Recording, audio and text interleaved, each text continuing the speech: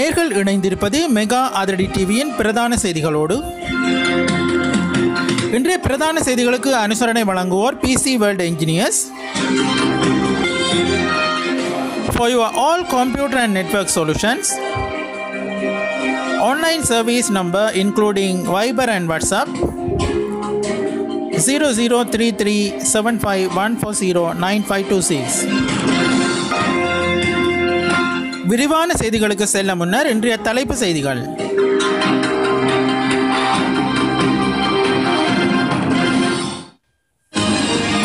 இந்திய பிரதமரின் வெற்றியை சரியாக கணித்த ஜோதிடர் கோத்தபாயா தொடர்பில் வெளியிட்ட தகவல்கள்.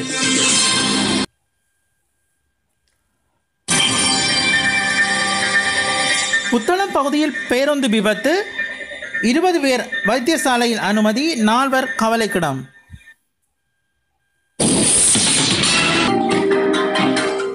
ஆட்சியை இல்லாதொழிக்க வேண்டும் கூறுகின்றார் ஞானசார தேரர்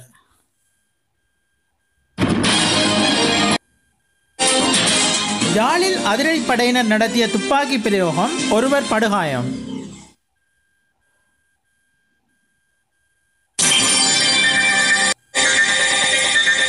கிளிநொச்சியில் சட்டவிரோதமாக அமைக்கப்படும் தென்னில தென்னிலங்கையை சேர்ந்தவர்களின் உப்பளம்.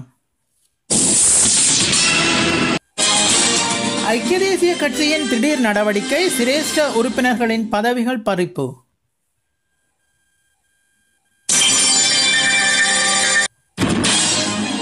நாடாளுமன்ற உறுப்பினர் பதவிகளை இழக்கப் போகும் முக்கிய அரசியல்வாதிகள்.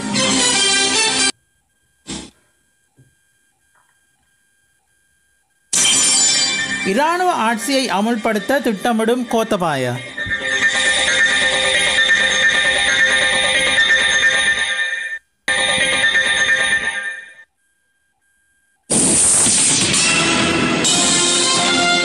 இனி விரிவான செய்திகள் இடம்பெறுகின்றன.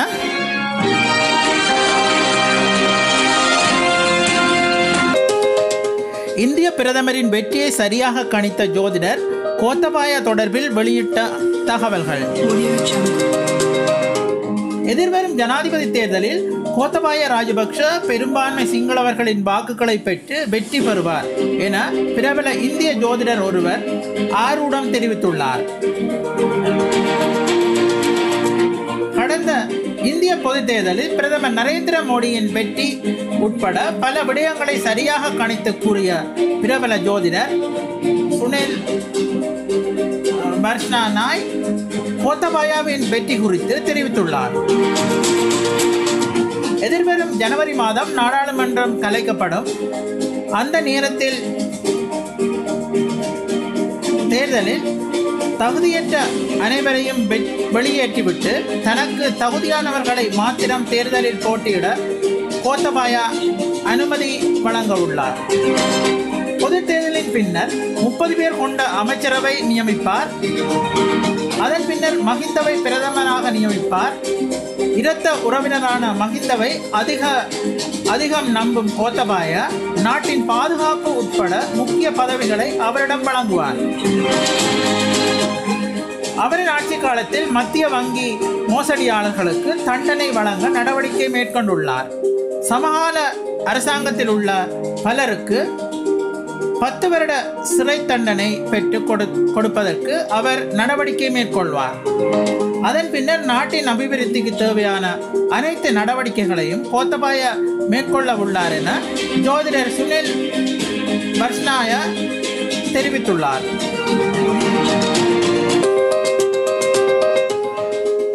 பகுதியில் கோர விபத்தில் சிக்கிய பேருந்து இருபது பேர் வைத்தியசாலையில் அனுமதி. புத்தளம் மதுரங்குடி செம்பட்ட பகுதியில் இடம்பெற்ற பேருந்து விபத்தில் இருபது பேர் காயம காயமடைந்ததுடன் நால்வரின் நிலைமை கவலைக்கிடமாக உள்ளதாக போலீசார் தெரிவிக்கின்றனர். இந்த சம்பவம் இன்றிரவு இடம்பெற்றுள்ளது. கம்பஹாவில் இருந்து தலவில தேவ தேவாலயத்துக்கு யாத்திரை சென்ற பேருந்து ஒன்றே இவ்வாறு விபத்துக்குள்ளாகியுள்ளது.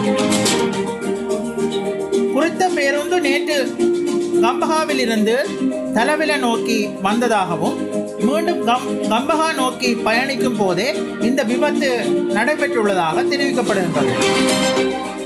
மோட்டார் சைக்கிள் ஒன்றை முந்தி செல்ல முற்பட்ட போது குறித்த பேருந்து முச்சக்கர வண்டி ஒன்றுடன் மோதி கவிழ்ந்ததில் குறித்த விபத்து இடம்பெற்றுள்ளதாக போலீசார் தெரிவிக்கின்றனர். விபத்தில் காய- காயமடைந்தவர்கள் பிரதேசவாசிகளின் உதவியுடன் புத்தளம் வைத்தியசாலையில் அனுமதிக்கப்பட்டுள்ளனர். போலீசார் மேலதிக விசாரணைகளை மேற்கொண்டு வருகின்றனர். குடும்ப ஆட்சியை இல்லாதொழிக்க வேண்டும் கூறுகின்றார் ஞானசார தேரர். நாட்டில் குடும்ப ஆட்சியை இல்லாதொழிக்க நடவடிக்கை எடுக்க வேண்டும் என பொதுபல சேனா அமைப்பின் பொதுச் செயலாளர் கலகொடத்தே ஞானசார தேரர் தெரிவித்துள்ளார். நுகேகுட பிரதேசத்தில் இன்றைய தினம் நடைபெற்ற அந்த அமைப்பின் இளைஞர் பேரவை அமர்வில் பங்கேற்ற போது அவர் இதை குறிப்பிட்டுள்ளார். அவர் மேலும் கூறுகையில் கட்சி நிறம் சின்னங்கள் போன்றவற்றை கைவிட்டுவிட்டு தேசத்துக்காக ஒன்றிணைய வேண்டும். கட்சிகளின் தலைவர்களை தெரிவு செய்து பௌத்த பிக்குகளின் பணியல்ல நாட்டை கட்டியெழுப்பக்கூடிய தலைவர்களை தெரிவு செய்தலே அவர்களின் கடமையாகும். பரம்பரை பரம்பரையாக செல்லும் குடும்ப ஆட்சி முறைமையை இல்லாதொழிக்கப்பட வேண்டும். திறமைகளுக்கு முன்னுரிமை அளிக்க கூடிய ஓர் தலைமுறையை உருவாக்க வேண்டும். பொதுபல சேனா தேசிய வேலை திட்டம் ஒன்று முன் முன்னெடுப்பதாகவும் கட்சி சின்னங்களை மறந்து நடவடிக்கை எடுக்க வேண்டும் என்றும் அவர் தெரிவித்துள்ளார். யாழில் அதிரடி அதிரடிப்படையினர் நடத்திய துப்பாக்கி பிரயோகம் ஒருவர் படுகாயம். யாழ் நெடுங்குளம் பகுதியில் சட்டவிரோதமாக மணல் ஏற்றி சென்றவர்கள் மீது போலீஸ் விசேட அதிரடிப்படையினர் துப்பாக்கிச் சூடு நடத்தியுள்ளனர். குறித்த சம்பவம் இன்று மாலை இடம்பெற்றுள்ளது. இந்நிலையில் அதிரடிப்படையினரின் துப்பாக்கிச் சூட்டுக்கு இலக்கான ஒருவர் யாழ் போதனா வைத்தியசாலையில் அனுமதிக்கப்பட்டுள்ளார். சம்பவம் தொடர்பில் மேலதிக விசாரணைகள் இடம்பெற்று வருவதாக அப்பகுதியில் இருக்கும் எமது செய்தி செய்தியாளர் தெரிவிக்கின்றார். துப்பாக்கி சூடு சம்பவத்தில் கி. ரஜீவன் வயது இருபது என்ற இளைஞரே படுகாயமடைந்துள்ளார் அரியாலை பகுதியில் சட்டவிரோதமான முறையில் மணல் ஏற்றி சென்ற வாகனத்தை விசேட அதிரடிப்படையினர் இடநிறுத்திய போது நிறுத்தாமல் சென்றமையினாலேயே வாகனத்தின் மீது துப்பாக்கி பிரயோகம் மேற்கொள்ளப்பட்டுள்ள மேற்கொள்ளப்பட்டுள்ளதாக அவர்கள் தெரிவிக்கின்றனர். கிளிநொச்சியில் சட்டவிரோதமாக அமைக்கப்படும் தென்னிலங்கையை சேர்ந்தவர்களின் உப்பளம். கிளிநொச்சியில் உருத்திரபுரம் செருக்கன் பகுதியில் தென்னிலங்கையை சேர்ந்த நிறுவனம் ஒன்று சட்டவிரோதமான முறையில் உப்பளம் அமைத்து வருகின்றது. இந்த விடயம் தொடர்பாக மேலும் தெரிய வந்துள்ளதாவது தென்னின் தென்னிலங்கையை சேர்ந்த நிறுவனம் ஒன்று சட்டவிரோதமான முறையில் உப்பளம் ஒன்று அமைக்கப்படுவதாக சிவஞானம் ஸ்ரீதரன் அவர்களுக்கு பொதுமக்களால் கிடைத்த முறைப்பாட்டின் அடிப்படையில் நாடாளுமன்ற உறுப்பினர் அங்கு சென்றார். குறித்த பகுதியில் அமைக்கப்படும் உப்பளமானது பிரதேச செயலாளர் பிரதேச சபை மற்றும் மாவட்ட செயலாளர் ஆகியோரின் அனுமதியின்றி அமைக்கப்பட்டு வருகின்றது. குறித்த உப்பளம் அந்த பகுதியில் அமைக்கப்பட்டு வருவதால் பல்லாயிரக்கணக்கான ஏக்கர் வயல் நிலங்கள் பாதிக்கப்படும் நிலையிலும் செருக்கன் பெரிய பரந்தன் சலாம்பன் தீவில் பொறிக்கடவை உருத்திரபுரம் சிவநகர். இன்னும் பல கிராமங்களின் நீர் உவர் நீராகும் நிலையிலும் சுமார் மூவாயிரம் மக்களின் வாழ்வு பாதிக்கப்படும் நிலை உருவாகும் எனவும் தெரிய வருகின்றது. எனவே கிளிநொச்சியில் ஆனையிரவு சர்வதேச தரத்தில் வெள்ளை உப்புக்கு பெயர் பெற்ற குறிஞ்சாத்தீவு உப்பளம் போன்ற போன்றவை உள்ள நிலையில் இந்த உப்பளம் இந்த பகுதிக்கு தேவையற்ற வகையில் அமைக்கப்பட்டு வருகின்றது. இந்த விடயம் தொடர்பாக அங்கு வேலை செய்யும் மக்களிடம் வினவிய போது குறித்த வேலைகள் ஆரம்பிக்கப்படும் முன்பு யாழ்ப்பாணத்தை சேர்ந்த ஸ்ரீலங்கா சுதந்திர கட்சியின் தேசிய பட்டியல் நாடாளுமன்ற உறுப்பினர் ஒருவர் குறித்த நிறுவனத்தின் தலைவர்களுடன் வருகை தந்து கிராமத்தில் கூட்டம் ஒன்றை நடத்தியதாகவும் அந்த கூட்டத்தில் முப்பத்தி ஐந்து பேருக்கு வேலைவாய்ப்பு தருவதாகவும் தமக்கு வழங்கிய வாக்குறுதியின்படியே தாங்கள் வந்து வேலை செய்வதாகவும் குறிப்பிட்டுள்ளனர். கிராம மக்களின் முறைப்பாட்டை அடுத்து நாடாளுமன்ற உறுப்பினருடன் அந்த கிராம மக்கள் கரைச்சி பிரதேச சபையின் தவிசாளர் வேளமாகிலுடன் கலந்து கொண்டார். ஐக்கிய தேசிய கட்சியில் திடீர் நடவடிக்கை சிரேஷ்ட உறுப்பினர்களின் பதவி ப- பதவிகள் பறிப்பு. ஐக்கிய தேசிய கட்சியின் பிரதி தலைவர் சஜித் பிரேமதாசாவின் முக்கிய சகாக்கள் இருவர் கட்சியின் உறுப்புரிமை உறுப்புரிமையிலிருந்து இடைநிறுத்தம் செய்யப்பட்டுள்ளதாக தெரிய வருகின்றது. சஜித் ஜனாதிபதி வேட்பாளராக போட்டியிட வேண்டும் என வலியுறுத்தி வரும் அஜித் பெரேரா மற்றும் சுஜீவ சேனசிங்கா ஆகியோரின் கட்சி உறுப்புரிமையை இடைநிறுத்துவதற்கு கட்சி தீர்மானித்துள்ளது. ஐக்கிய தேசிய கட்சியின் ஒழுக்காற்று குழுவினரால் இந்த தீர்மானம் எடுக்கப்பட்டுள்ளது. இந்த விவகாரம் தொடர்பில் கட்சியின் ஒழுக்காற்று குழு பிரதமர் ரணில் விக்ரமசிங்கவுக்கு அறிவித்துள்ளது. கட்சியின் ஒழுங்கு விதிகளை மீறியமைக்கும் மற்றும் தலைமைத்துவத்தை இழிவுபடுத்தியமை ஆகிய குற்றச்சாட்டுகள் இருவர் மீதும் சுமத்தப்பட்டுள்ளன. ஒழுக்காட்டு விசாரணைகளின் முன்னிலையாகுமாறு அறிவிக்கப்பட்ட போதிலும் இருவரும் இரண்டு தடவைகள் முன்னிலையாக தவறியுள்ளதுடன் இறுதியில் எழுத்து மூலம் விளக்கம் அளித்துள்ளனர். இந்த எழுத்து மூல விளக்கங்கள் ஒழுக்காட்டு குழுவின குழுவினை சவால் விடுவிக்கும் வகையில் அமைந்திருந்தமை குறிப்பிடத்தக்கது. நாடாளுமன்ற உறுப்பினர் பதவிகளை இழக்கப் போகும் முக்கிய அரசியல்வாதிகள். தேசிய பட்டியல் நாடாளுமன்ற உறுப்பினர்களான எஸ்பி திசாநாயக்கா டிலான் பெரேரா விஜித் விஜிதமுனி சொய்சா லக்ஷ்மண் ஜாப்பா அபயவர்த்தன ஏஎஸ்எம் பௌசி ஆகியோரின் கட்சி உறுப்புரிமையை இரத்து செய்ய ஸ்ரீலங்கா சுதந்திர கட்சி நடவடிக்கை எடுத்து வருவதாக தெரிவிக்கப்படுகின்றது. கட்சியின் உறுப்புரிமை ரத்து செய்யப்பட்ட பின்னர் அவர்களிடம் குற்றச்சாட்டு பத்திரம் வழங்கப்பட உள்ளது. ஸ்ரீலங்கா சுதந்திர கட்சியின் உறுப்பினர்களாக இருக்கும் நிலையில் வேறு கட்சியின் வளர்ச்சிக்கான நடவடிக்கைகளில் ஈடுபடுவதாக குற்றம் சுமத்தி இவர்களுக்கு எதிரான ஒழுக்காட்டு விசாரணைகள் நடத்த உத்தரவிடப்பட்டுள்ளது. இந்த நாடாளுமன்ற உறுப்பினர் ஸ்ரீலங்கா சுதந்திர கட்சியில் வகித்த பதவிகளில் இருந்து ஏற்கனவே நீக்கப்பட்டுள்ளமை குறிப்பிடத்தக்கது. எஸ்பி திசாநாயக்கா டிலான் பெரேரா லக்ஷ்மண் ஜாப்பா அவையவர்த்தன ஸ்ரீலங்கா பொதுஜன பெரமுனவின் இணைந்து அங்கத்துவத்தை பெற்றுக் கொண்டுள்ளனர். Vijith Vijithamuni Soysa A S M Fowzie ஆகியோர் ஐக்கிய தேசிய கட்சியுடன் இணைந்து செயற்பட்டு வருகின்றனர். கட்சியின் உறுப்புரிமை ரத்து செய்யப்பட்டால் இவர்கள் நாடாளுமன்ற உறுப்பினர் உறுப்பினர் பதவிகளை இழப்பார்கள் என கூறப்படுகின்றது. இராணுவ ஆட்சியை அமுல்படுத்த திட்டமிடும் கோத்தபாயா. எதிர்வரும் ஜனாதிபதி தேர்தலில் கோத்தபாய ராஜபக்ஷ வெற்றி பெற்றால் நாட்டில் ஜனநாயகமும் அரசியல் கட்சிகளும் இல்லாமல் போய்விடும் என அமைச்சர் அஜித் பி. பெரேரா தெரிவித்துள்ளார். கொழும்பில் அண்மையில் செய்தியாளர்களிடம் கருத்து வெளியிட்ட போதே அவர் இதை கூறியுள்ளார். அவர் மேலும் கூறுகையில்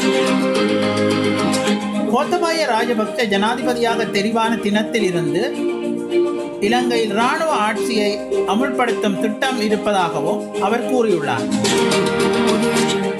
இந்த நிலைமையை தோற்கடிப்பதற்காக ஜனநாயகம் மற்றும் சுதந்திரத்தை விரும்பும் அனைவரும் இணைந்து ஒரு அணி உருவாக்க வேண்டும் எனவும் அஜித் பி. பெரேரா குறிப்பிட்டுள்ளார். அடுத்து இடம்பெறுகின்றது இன்றைய இணையதளங்களில் காணப்படும் சில முக்கிய செய்திகள். செல்வச்சன்னதி ஆலயம் சென்று திரும்பியவர்களுக்கு நேர்ந்துள்ள விபரீதம். யாழ்ப்பாணம் பருத்தித்துறை பிரதான வீதியில் பயணித்த முச்சக்கர வண்டி ஒன்று வேக கட்டுப்பாட்டை இழந்து விபத்துக்கு இலக்காகியுள்ளது. சம்பவம் இன்றைய தினம் பிற்பகல் அளவில் இடம்பெற்றுள்ளதாக போலீசார் தெரிவித்துள்ளனர். செல்வச்சந்நிதி ஆலயத்துக்கு சென்று விட்டு முச்சக்கர வண்டியில் திரும்பிக் கொண்டிருந்தவர்களே இந்த விபத்தில் சிக்கியுள்ளதாக தெரிய வருகின்றது இந்த விபத்தில் முச்சக்கர வண்டியில் பயணித்தவர்கள் சிறு காயங்களுக்கு உள்ளான நிலையில் பிரதேச வைத்தியசாலையில் அனுமதிக்கப்பட்டுள்ளனர் இது தொடர்பாக மேலதிக விசாரணைகளை அச்சுவேலி போலீசார் மேற்கொண்டு வருகின்றனர். வறுமையின் கொடூரம் பெற்ற பிள்ளைகளை பௌத்த தேரரிடம் ஒப்படைத்த தந்தை. பவனியாவில் சம்பவம். எழுக தமிழ் எழுச்சிக்கு நாடு கடந்த தமிழீழ அரசாங்கம் விடுத்துள்ள அறைகூவல். இறைமைக்குமான எமது போராட்ட வேட்கையில் நமக்கான தலைவிதியை நாமே தீர்மானிக்கும் வகையில் நமது அற வலிமையினை அரசியல் வலிமையாக மாற்ற எழுக தமிழாய் எழுவோம் என நாடு கடந்த தமிழீழ அரசாங்கம் அறைகூவல் விடுத்துள்ளது. வடமாகாண பாடசாலைகள் தொடர்பில் வெளியாகிய செய்தி உண்மைக்கு புறம்பானது. வடமாகாணத்தில் எதிர்வரும் திங்கட்கிழமை அதாவது பதினாறாம் திகதி பாடசாலைகள் எதுவும் இயங்காது என ஊடகங்களில் வெளியாகிய செய்திகள் உண்மைக்கு புறம்பானது என வடமாகாண ஆளுநரினால் தெரிவிக்கப்பட்டுள்ளது. மேற்குறிப்பிட்ட தகவல் உண்மையானதல்ல எனவும் வடமாகாணத்தில் சகல பாடசாலைகளும் திங்கட்கிழமை வழமை போல் இயங்கும் என வடமாகாண கல்வி அமைச்சு அறிவித்துள்ளது. தூசியால் மறைந்து போன கல்முனை நகரம் பாதுகாப்பு தேடி ஓடிய மக்கள்.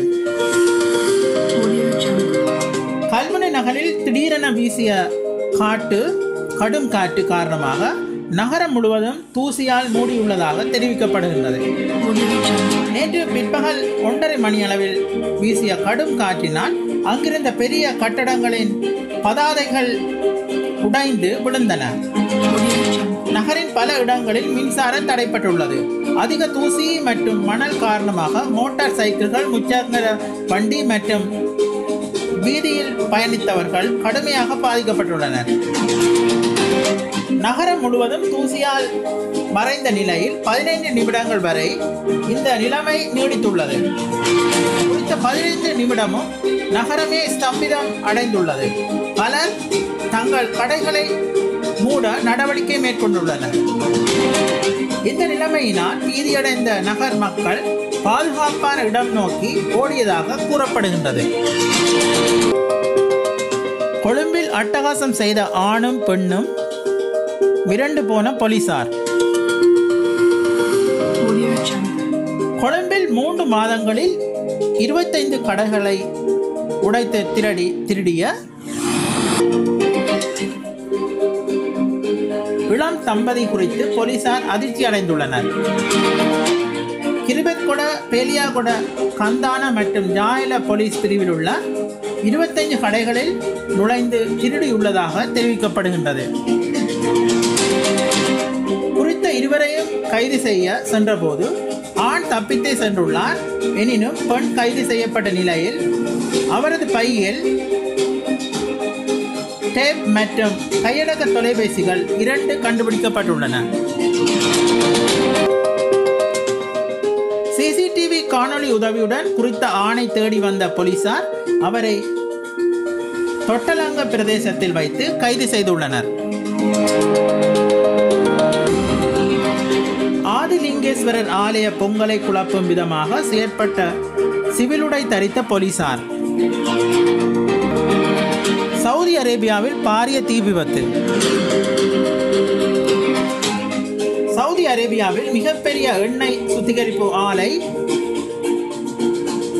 அரம்கோவில் பயங்கர தீ விபத்து ஏற்பட்டுள்ளதாக அங்கிருந்து வரும் தகவல்கள் தெரிவிக்கின்றன. அந்நாட்டின் கிழக்கு மாகாணத்துக்கு உட்பட்ட தஹ்ரான் நகரில் சவுதி அரசுக்கு சொந்தமான அரம்கோ என்ற மிகப்பெரிய கச்சா எண்ணெய் சுத்திகரிப்பு ஆலையே இவ்வாறு தீப்பற்றி எரிகின்றது.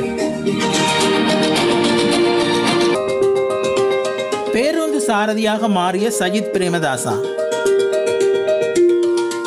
பேருந்து ஒன்றின் சாரதியாக நேற்றைய தினம் வீடமைப்பு அமைச்சர் சஜித் பிரேமதாசா செயற்பட்டுள்ளார். ஹண்டி திகன ராஜவெல்ல இந்து பாடசாலைக்கு நாற்பத்தி ஆறு லட்சம் ரூபாய் பெறுமதியான பேருந்து ஒன்று வழங்கி வைக்கப்பட்டுள்ளது. இதன்போது குறித்த பேருந்தின் சாரதி ஆசனத்தில் அமர்ந்த அமைச்சர் சஜித் பிரேமதாசா சாரதியாக செயற்பட்டுள்ளார். அந்த பாடசாலையின் மாணவர்கள் சிலரையும் ஏற்றிக்கொண்டு பேருந்தை ஓட்டி செல்ல அமைச்சர் நடவடிக்கை மேற்கொண்டுள்ளார். நாடளாவிய ரீதியில் பாடசாலை செல்லும் மாணவர்களின் எண்ணிக்கை நாற்பத்தி நாலு லட்சத்துக்கும் அதிகம் என அவர் குறிப்பிட்டுள்ளார். இனி இடம்பெறுகின்றது தமிழக செய்திகள் சில புரட்டாதி மாத பூசைகளுக்காக சபரிமலை ஐயப்பன் கோவில் நாளை மறுநாள் திறப்பு. தமிழகத்தின் பல்வேறு மாவட்டங்களில் பரவலாக மழை பொதுமக்கள் விவசாயிகள் மகிழ்ச்சி.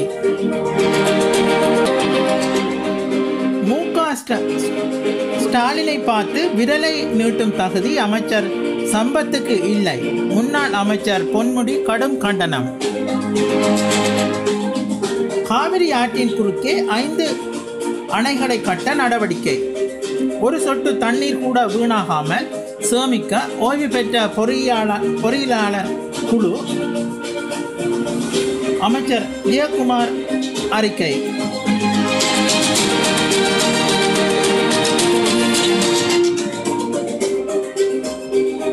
ஐந்தாம் எட்டாம் வகுப்பு பொதுத் தேர்வு மத்திய அரசின் திட்டம். அமைச்சர் செங்கோட்டையன் பேட்டி.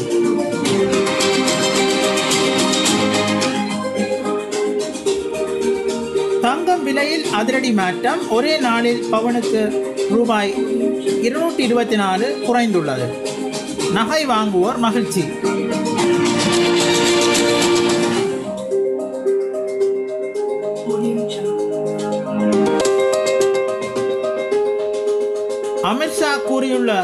கருத்துக்கு எதிராக திமுகவின் எதிர்வினை குறித்து நாளை முடிவு எடுக்கப்படும் என மு க ஸ்டாலின் குறிப்பிட்டுள்ளார். தேசிய லோக் கத்தாலத்தில் விசாரணை தமிழகம் முழுவதும் அறுபத்தையாயிரத்தி முன்னூற்றி தொண்ணூற்றி நாலு வழக்குகளில் வழக்குகளுக்கு தீர்வு. மொத்தம் இருநூற்றி அம் ஐம்பது கோடி பைசல் ஒரே தேர்தல் ஒரே ரேஷன் ஒரே வரி என்ற வரிசையில் நாட்டின் ஒரே மொழி ஹிந்தி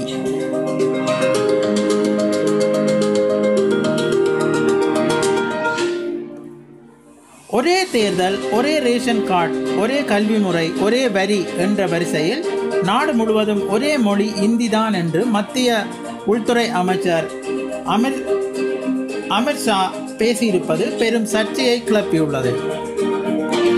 எதிர்க்கட்சி தலைவர்கள் கடும் எதிர்ப்பு தெரிவித்துள்ளனர்.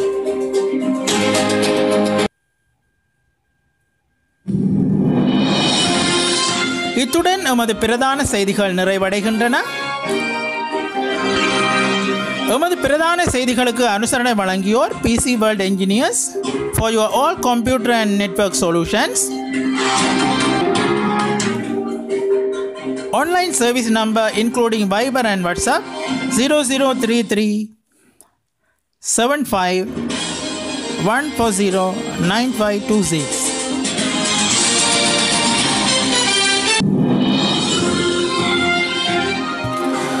மீண்டும் நாளை மெகா அதிரி டிவியின் பிரதான செய்திகளூடாக உங்களை சந்திக்கும் வரை உங்களிடமிருந்து விடைபெறுகின்றேன் நன்றி வணக்கம்